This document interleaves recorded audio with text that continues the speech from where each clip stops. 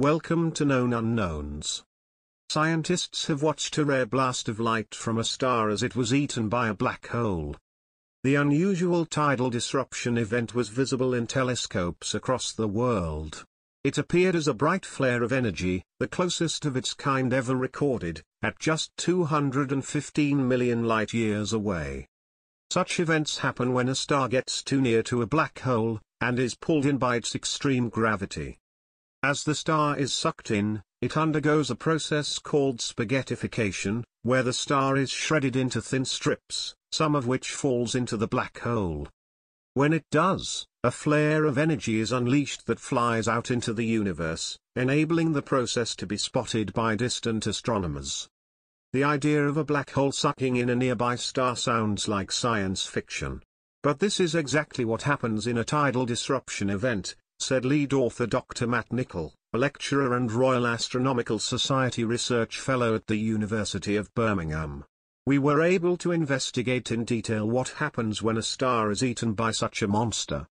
They were able to watch it through telescopes around the world, the European Southern Observatory's Very Large Telescope and New Technology Telescope, the Las Cumbres Observatory Global Telescope Network, and the Neil Gehrels Swift satellite, over a period of six months, watching it as it grew brighter and then faded away.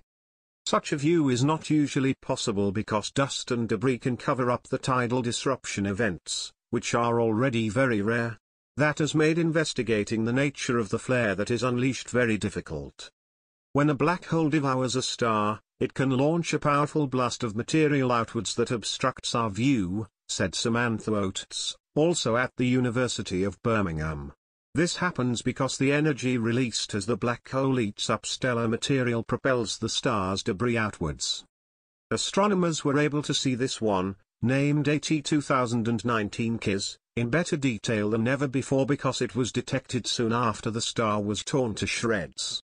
Several sky surveys discovered emission from the new tidal disruption event very quickly after the star was ripped apart, says Thomas Wevers, an ESO fellow in Santiago, Chile, who was at the Institute of Astronomy, University of Cambridge, UK, when he conducted the work.